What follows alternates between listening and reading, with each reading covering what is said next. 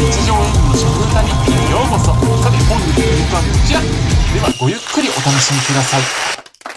小池屋のトルティアチップスに業務スーパーのキャラメルシロップをかけたいと思います。うーん。だなんか前にもキャラメルソースってあったありましたけどこういうのもあるんですね。ではどんなものなのか早速かけてみましょう。はいいきますよ。チャンネル登録よろしくお願いします。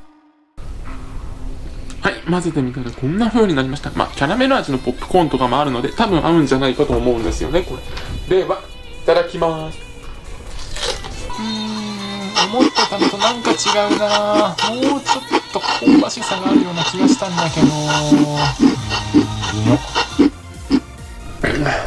うーん、キャラメルシロップとして考えると結構甘さが強かったですね。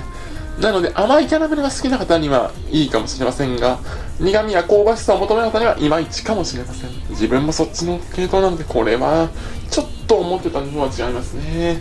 というわけで、これはこちらの点数とさせていただきます。それでは、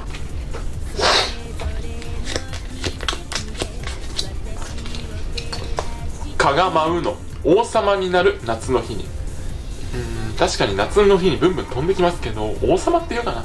ご視聴ありがとうございました。コメントしていただけると、そしてよろしければ他の動画も見ていただける動画を拡散していただけると嬉しいです。演武終演。お楽しみいただけましたかもしそうでしたらチャンネル登録、コメント、高評価よろしくお願いします。ではまた次回の演目でお会いしましょう。